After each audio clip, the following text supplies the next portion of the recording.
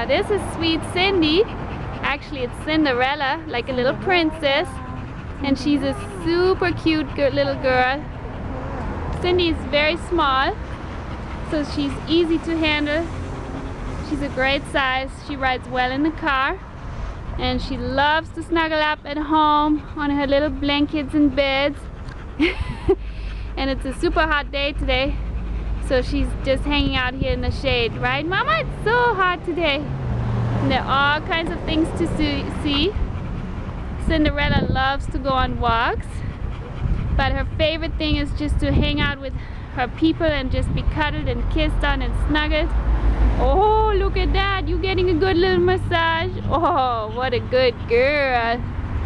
And as you can see, she's super pretty. Hi. Are you going to give a kiss to the camera? Oh, thank you. Thank you, girl.